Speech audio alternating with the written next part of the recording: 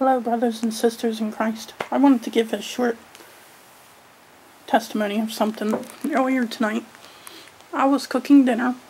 I had, I was cooking small pieces of chicken in um, a glass roasting pan.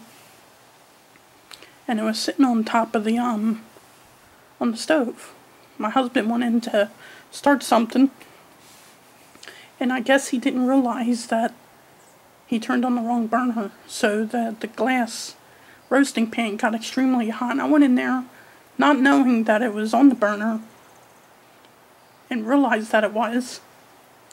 Went to move it a little bit and um, the glass pan exploded.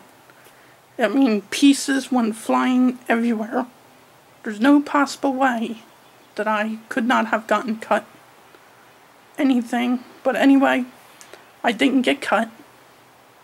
It was like this supernatural shield was around me.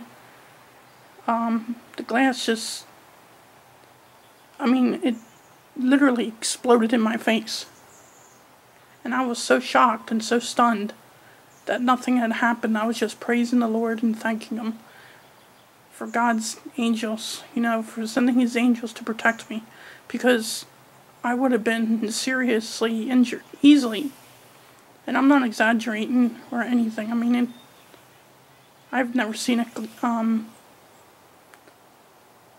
a roasting a glass roasting pan explode. I mean, pieces went everywhere, big chunks, little chunks, um, all around me, and everything. It didn't get in my eyes, my face, nothing. It was the most. God is so amazing. If we under, if we ever wonder, you know, God doesn't protect us. He does. I mean, he, he truly does.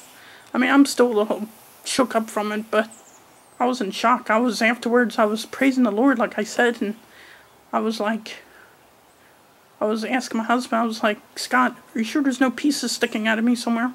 I was just amazed that it was just, it wasn't me. I don't have superpowers. It was Jesus.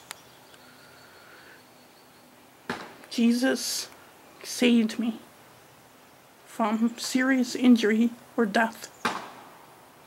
But it's amazing. God's just amazing. I just praise Him all the time. Anyway, I just wanted to share that. It was just a supernatural thing that I. God is supernatural. Anyway, God bless you. In Jesus' name, amen.